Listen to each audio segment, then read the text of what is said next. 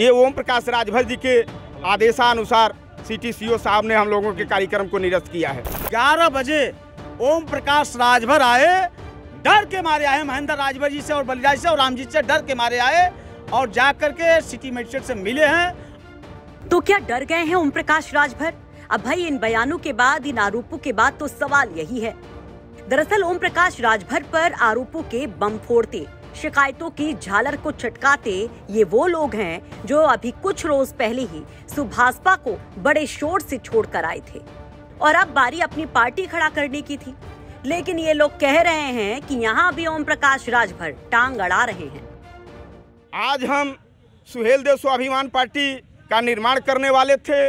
और सुहेल देव स्वाभिमान पार्टी के तमाम पदाधिकारियों का घोषणा करने वाले थे। उनको इस बात की जानकारी थी कि हमारी ज़मीन खसक चुकी है। इस नाते आकर के सिटी सीओ साहब से मिल करके हम लोगों के कार्यक्रम को इन्होंने निरस्त कराया है। ये ओम प्रकाश राजभर जी के आदेशानुसार सिटी सीओ साहब ने हम लोगों के कार्यक्रम को निरस्त किया है।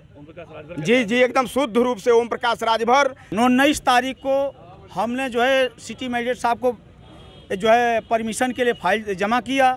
उनसे बात भी किया कि सर हमको परमिशन सत्ताईस को प्रोग्राम करना है गिरस्त प्लाजा में।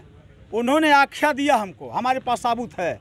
उन्होंने आख्या दिया है ये सीओ को सीओ आख्या दिए जो है कोतवाल को, कोतवाल आख्या दे दिए जो है चौकी इंचार्ज को, सराहू को, फिर इन्होंने आख्या दिया ये कोतवाल को, कोतवाल साहब फिर भेजे जो सीओ को सीओ साहब फिर हमको भेजे सिटी मजिस्ट्रेट को।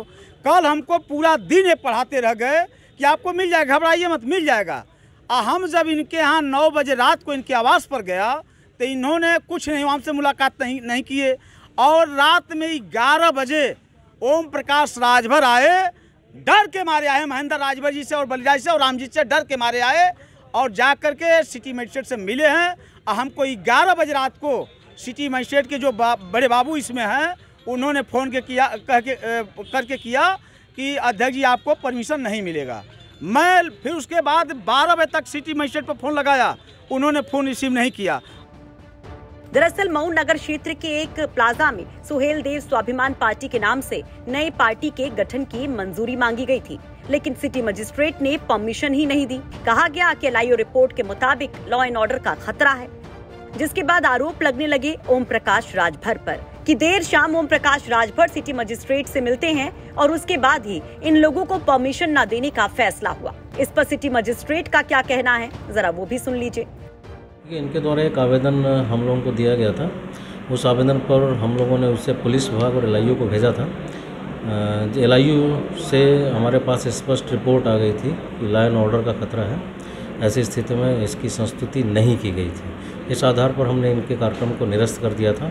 तदनुसार इनके आयोजकों को और थाने और सीओ साहब को अवगत करा दिया था। उनका आरोप है कि ओम प्रकाश राजभर आपसे रात में मिले उसके बाद आपने जो है आदेश निरस्त कर दिया। जी नहीं ऐसी कोई बात नहीं है। हमसे किसी की कोई मुलाकात नहीं है केवल शांति व्यवस्था के दृष्टिगत हम लोगों ने इस कार्यक्रम को रद्द किया है।